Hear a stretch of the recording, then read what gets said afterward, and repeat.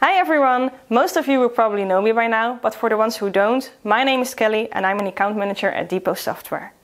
With people collectively fighting the coronavirus all around the globe, I just wanted to check in with you and express my wish that hopefully you and your loved ones are all healthy and well.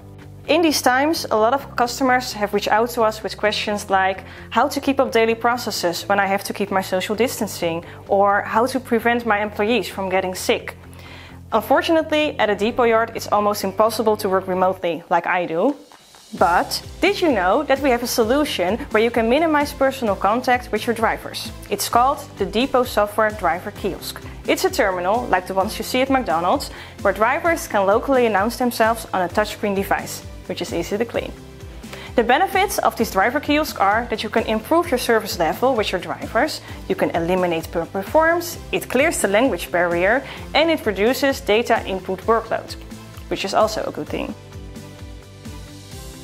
Unfortunately, I cannot visit you all to tell you more about the solution, and therefore I'm very excited to announce that we are hosting our very first webinar ever, and you are invited.